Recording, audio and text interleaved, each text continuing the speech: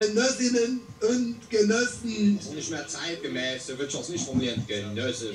Darüber müssen wir noch Ich diskutieren. finde übrigens blöd, dass da nicht eckig ist, haben wir gesagt, Ruhe, Präsident. die Lage ist ernst. Die DDR hat 20 Milliarden Dollar Auslandsschulden. 20 Milliarden Dollar.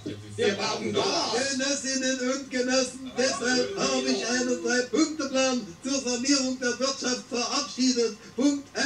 1, wir befreien General Noriega aus dem Gefängnis in Miami. Stasi vor, Punkt Stasi.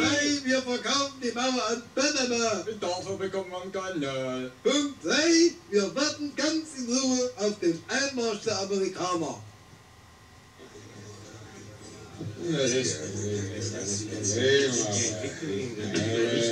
Pass auf, was ist das?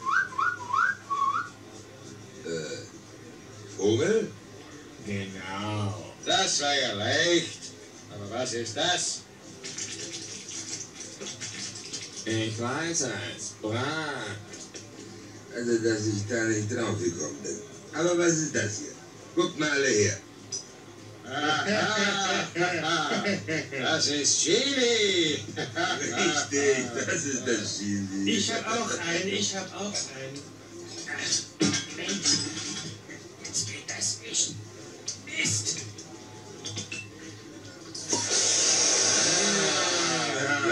Mein